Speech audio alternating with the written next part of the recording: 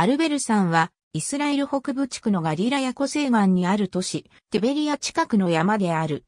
海抜は181メートルであるが、周りの村が海面下なのでそこからは380メートルの高さにあり、ガリラヤ湖全体やゴラン高原を見渡せる。また、アルベル山全体はイスラエルの自然保護区になっている。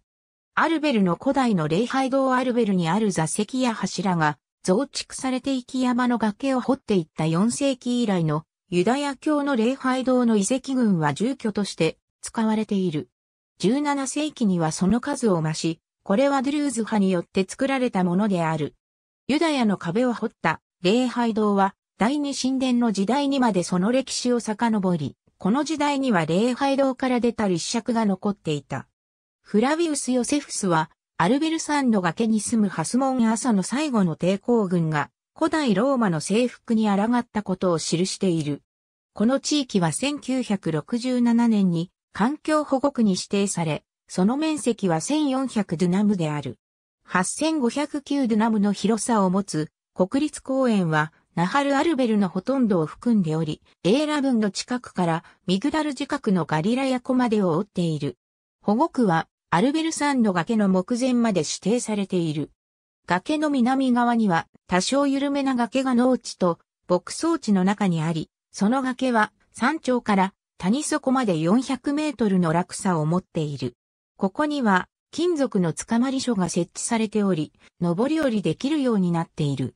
その下った谷の下には、つづら折りがあり、ベドウィンのハマーム村へと続いている。110メートルの落差を持つアルベル山は、ベースジャンピングができる場所だと認知されている国内唯一の場所である。南側から山頂に至る遊歩道はイスラエル国立遊歩道があり、西側からはイエス遊歩道がある。この二つの遊歩道は山の中で合流する箇所がある。2008年、ロバート・トレント・ジョーンズ・ジュニアの計画による新しいゴルフリゾートが発表され、1億5000万ドルの費用をかけて、クファルヒッティムのアルベル山の地域に作られる旨が発表された。